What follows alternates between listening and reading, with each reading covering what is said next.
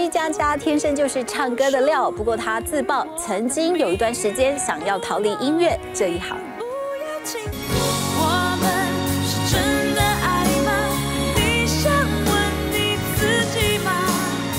如此纯净无瑕，灵魂歌姬佳佳的歌声就像一片混沌中从云缝洒下的金色阳光，给予人抚慰的力量。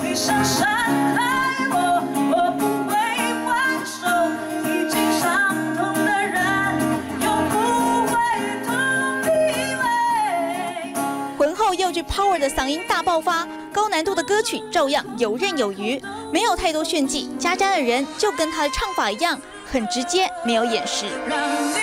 如果用几句话形容自己，你会说自己是怎么样的人？外星人吧。我常常会做一些让人家摸不着头绪的事情。曾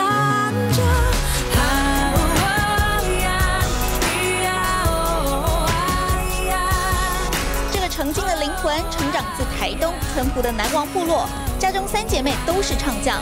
大姐纪晓雯曾在民歌餐厅驻唱，二姐纪晓君更夺下第十一届金曲奖最佳新人奖。她从小就是女王，她就是那种女王气势，对。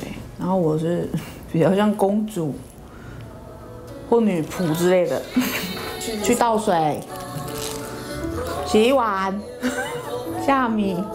姐姐纪晓君相差六岁，纪晓君比佳佳更早进入歌坛，也成名的更早。好一阵子，纪晓君的妹妹成了佳佳的代名词。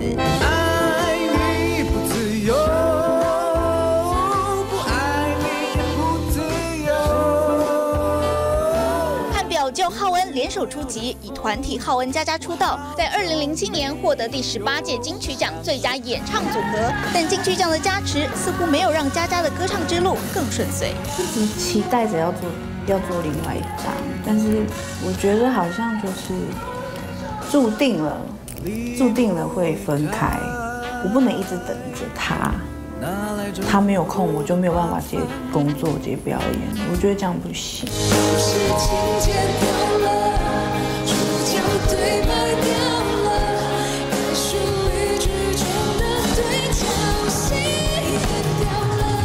当起了阿妹的和声小天使，跟着天后进行巡演。在家虽然乐天知命，但酷爱唱歌的她，还是难免陷入人生的迷惘，想知道自己除了唱歌还能做什么。你在餐厅。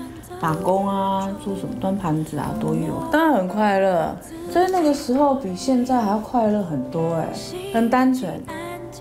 你会觉得自己真正的是在生活。为了生活而工作，或许是老天也不舍佳佳的歌唱才华被埋没吧。他越是想脱离音乐的工作，就一直找上门。就连天团五月天也被他的声音吸引，找佳佳合作唱电影插曲。希望我可以唱这样，但是我就直接说我不会唱，我不知道他们那么红。对不起你们师兄，真的对不起。感谢你们的提携。如果我爱上你的笑容，佳佳最后当然还是唱了，而且还跟着五月天一起唱进了小巨蛋。如果还有明天，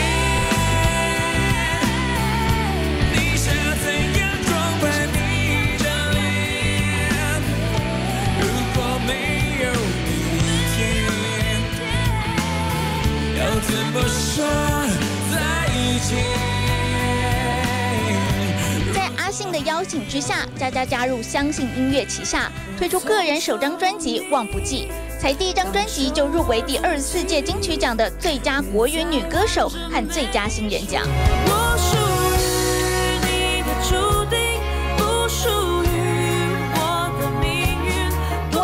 戏剧《兰陵王》的插曲《命运》更是让佳佳知名度大开，而很多人都不知道佳佳还有一项超级技能。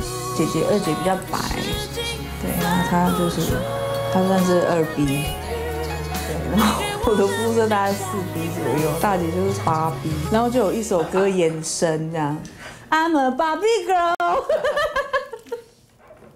好冷。我跟你说，我很会说冷笑话，好吗？走红后的佳佳始终保持单纯的个性，容易让开心更开心，容易感动也容易流泪。就如同当年那个来台北闯荡的小女孩，但就算内心还是个小女孩，也有远大志向。当然是可以开世界巡回的演唱会啊！对，这是我现在最想，而且是最大最大的梦想了。